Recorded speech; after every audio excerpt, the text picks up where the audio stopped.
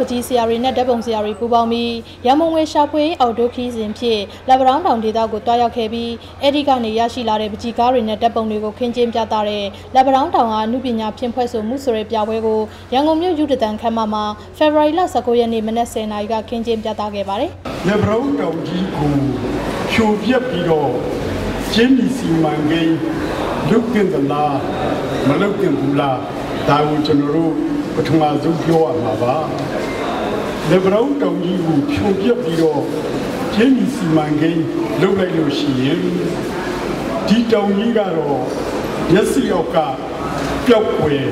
အကုန်ပျက်စီးပြီးတော့ဟိုလူတယောက်နေဆိုရင်လိမ့်စာတကောင်နေဆိုရင်အလောင်းကောင်ပြန်အောင်တယ်တောင်ကြီးနေဆုံးတဲ့အခါကျတော့ဘာမှဒီတောင်ရဲ့ ရုပ်ခန္ဓာတွေမရှိတော့ဘဲနဲ့မြေစာတွေပြန့်ကျဲကျင်းကြီးတွေဘွားကျဲပြီးတော့အလုံးအယုတ်ဆိုးတဲ့ညီကွင်းတွေသာဒီနေရာမှာရှိပါတော့မယ်သောသောရုံကအမြင့်အမောက်အစိမ်းရောင်အပြာရောင်နေဝင်တဲ့အချိန်မှဆိုရင်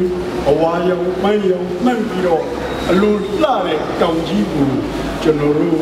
ကြည့်လို့မမြင်နိုင်တော့ပါဘူး အဲ့ဒီပြပွဲကိုနွယ်နေရင်ကျေးမှုရဝင်းကဦးဆောင်ပြီး88မျိုးဆက်ကျောင်းသားတွေချင်းတွင်းရေကြီးမုံရွာကပကြီးဆရာတွေလက်ဗရောင်းတောင်ကာကွယ်ရေးကော်မတီတဲ့ပကြီးဆရာများတက်မကတို့ပူးပေါင်းကျင်းပခဲ့တာဖြစ်ပါတယ်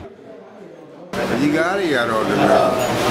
နီးစနစ်မျိုးစုံနဲ့ဆွဲထားတယ်ဒီစနစ်များသောများသောဖြင့်တော့ရည်သေးတယ်ရည်သေးတယ်နဲ့ realism ပေါ့ impression နဲ့အဲ့ဟာမျိုးပေါ့အဲသုံးမဲ့မော်ရာရောပါဒီနဲ့ contemporary art တွေရော အဓိကကတော့ level round တောင်ခါနာ level round တောင်ပေါ့ဒီက level round တောင်ကြီးကျက်စီးနေတာတွေဟိုဖြစ်ပြနေတဲ့အနေအထားပေါ်မှာဒီဘက်ကလည်းဖြစ်ပြနေတဲ့အနေအထားတွေပေါ်မှာခံစားပြီးတော့မာတာပွက်ဆူတာလည်းနေတာခုဗမာနိုင်ငံအကြီးဆရာများတမကအထူးရေးကော်မတီရဲ့ကိုကျွန်တော်တို့လိုစိတ်ရှိတဲ့လူအများကြီးရှိပါတယ်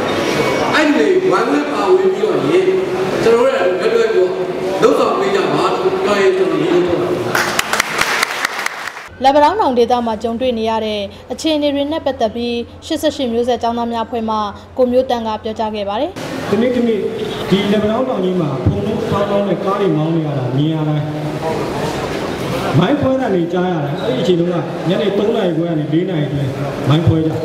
မိုင်းဖွဲတာနေကြားရတယ် သူတို့မှမျက်ရည်စင်တယ်ငယ်တဲ့ရွယ်တဲ့လူတွေပိုဆိုးတယ်တက်ကြီးတွေလို့မိုင်းဖွဲလိုက်ပြီဆိုတာနဲ့သွားပြန်ပြီ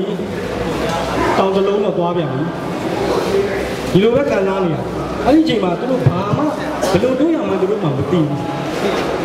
ဒီစီမံကိန်းရက်သွားရင်ကောင်းမယ်ဆိုတာလည်းသူတို့သိတယ်လက်ဗရောင်းတောင်ဒေသနဲ့ပတ်သက်ပြီးရေးဖွဲ့ထားတဲ့ကြပြတွေကိုရွတ်ဆိုခဲ့ကြပြီးမှတ်တမ်းတင်ဗီဒီယိုကားတွေကိုလည်းပြသခဲ့တယ်လို့သိရှိရပါတယ်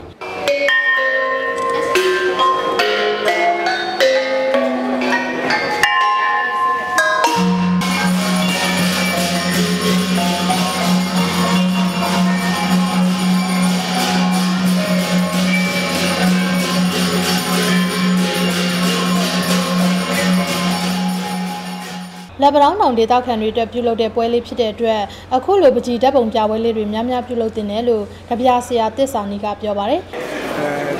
အစုံပေါ့ရှုတော့မျိုးမျိုးပေါ့အခုကတော့အဓိကကတော့ဘယ်လိုဆိုရင်ခဏ